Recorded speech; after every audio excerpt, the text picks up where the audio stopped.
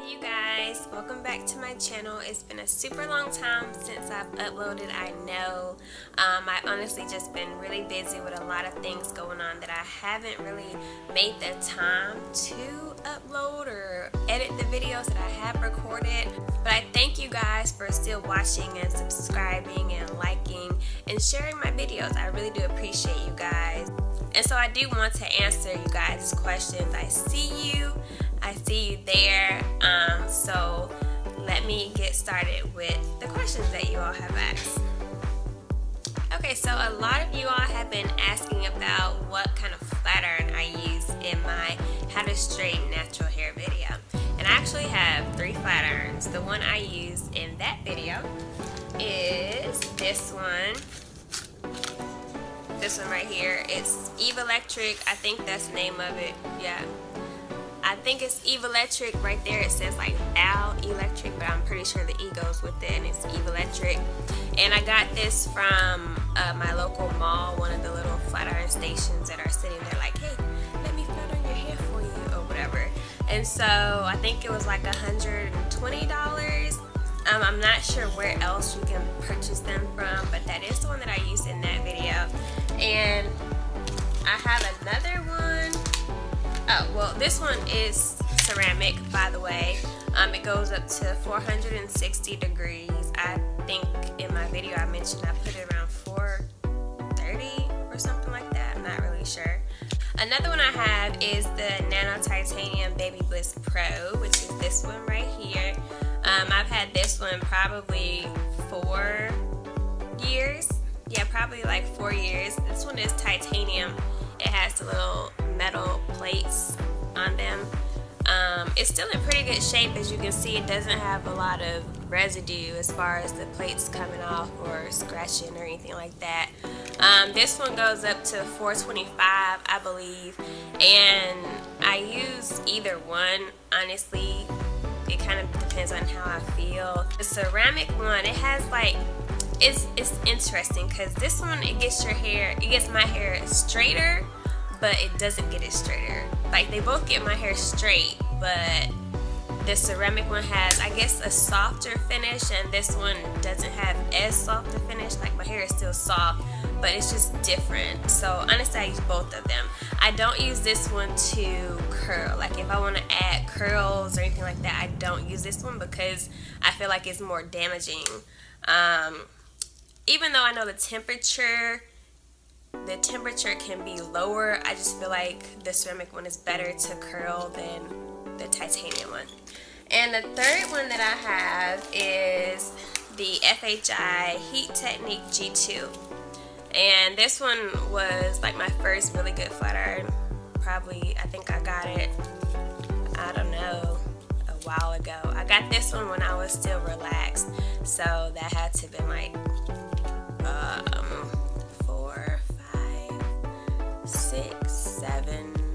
seven no I don't know something I don't know but at this one and it was really good when my hair was relaxed like honestly it was it was really good flat iron. The first time I used it, I was like, oh my gosh, my hair is just amazing.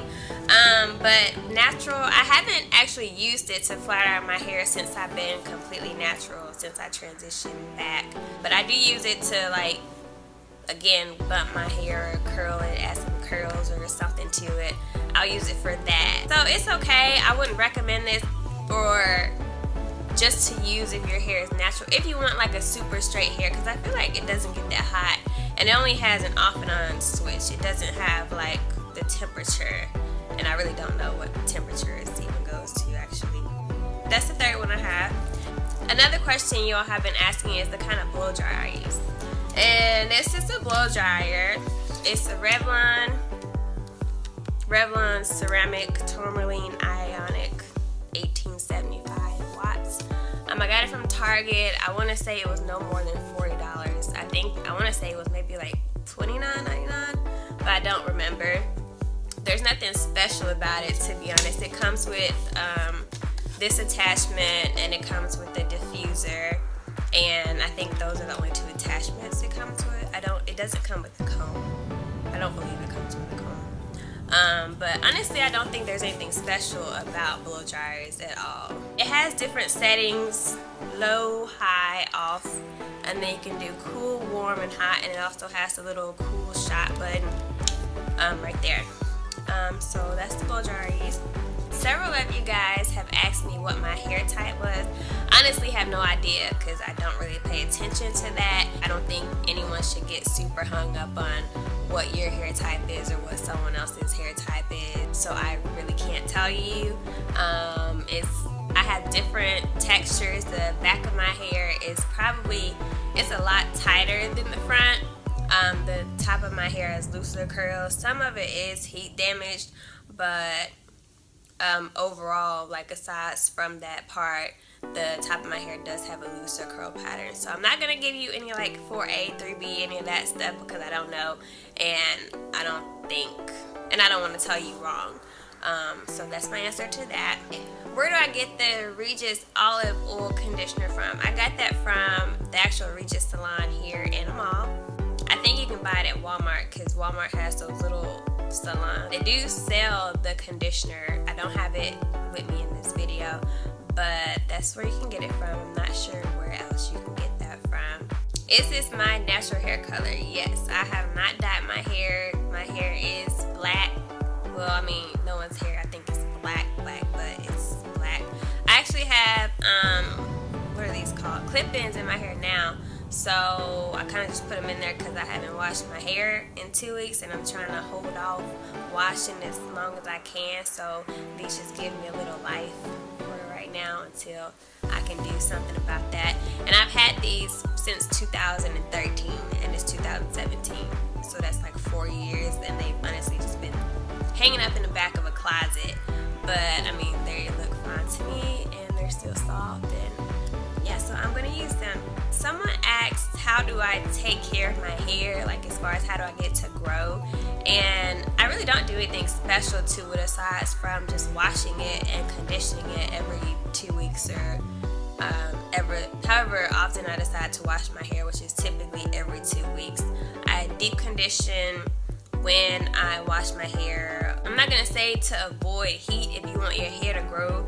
Yes, I do think that's a great tip, but I love heat and I typically wear my hair straight, so I'm not gonna tell you guys to do something that I don't do. Um, so really, I just wash it and style it, and I would say, if anything, I would say don't do your hair every single week if you're gonna flat iron it. Like, don't wash it and flat iron it one week, then wash it and flat iron next week. If you're gonna flat iron it, I would say leave it straight as long as possible. And then like if it gets old throughout the week, you can always add flexi rods and things to it to give it some life, to change your style. Cause that's what I do. Like once I flat iron it and say after that first week, I can tell it doesn't have the same movement or flow or silk. It doesn't look as fresh. And so that's when I add like a flexi rod to it so that it does, it looks like it's been styled and it's not just old and blah. Hair grows, like you just have to be careful about it.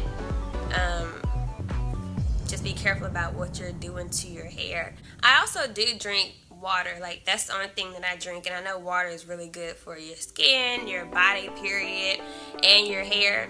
So I would definitely recommend like just eating healthy and drinking a lot of water.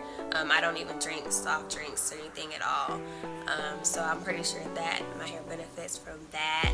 And I sleep with scarves on, yes, and I have satin pillowcases.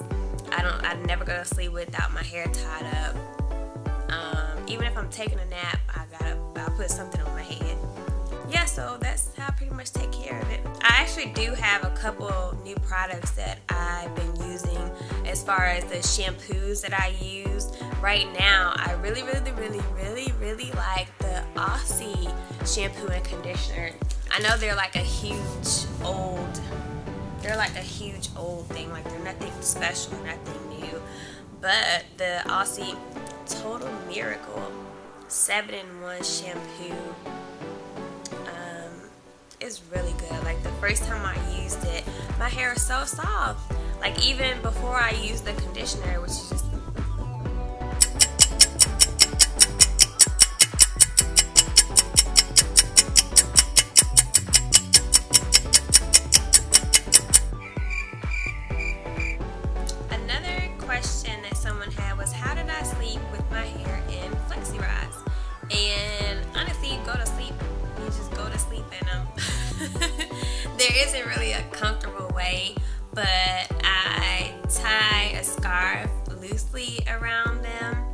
just so they're kind of not flopping everywhere in case they fall out. So I tie a scarf and then put my bonnet on and then I go to sleep. Um, you kind of have to play around with your position on your pillow because they will like stick you in the neck or something. But you just go to sleep in them and those curls in that video you will have to roll them up every day. Um, you don't have to but if you don't then they're gonna get like really puffy and they're not gonna be very uniform at all. So that's the only time I actually did my hair in that style. Have I ever flat ironed my hair and it come out looking thin and stiff? The answer is no. And if your hair comes out looking thin and stiff, then that means either one, your hair is damaged, two, the products you used are not working, or three, your flat iron is kind of crappy. You may want to do some deep conditioning, you may want to use products. If you're using like hairspray or spritz to flat iron your hair, that's a definite no-no. You use maybe wrong or use too many of one product or you didn't use the right products or your flat iron is old or just not a good flat iron. Like having a good flat iron is really a huge deal. Like I don't think people understand that you're gonna have to spend. You may can get by on a cheap flat iron for a little while or if you're relaxed but when you're natural and you want to make sure your hair is in really good health like having a good flat iron really does matter. And it really it really will change the way your hair comes out when you use it. If there's any other videos that you all specifically would like to see let me know. Again I don't know how often I will be uploading as far as once a month or every two weeks or every other month. I don't know um, but I did want to come and update you guys on a couple things and answer some of you guys' questions. If you have any more questions that you would like me to do another Q&A session, um, leave them below and I will try my best to answer them. So as always, thank you guys so much for watching. Um, like and subscribe and share and I will see y'all in my next video.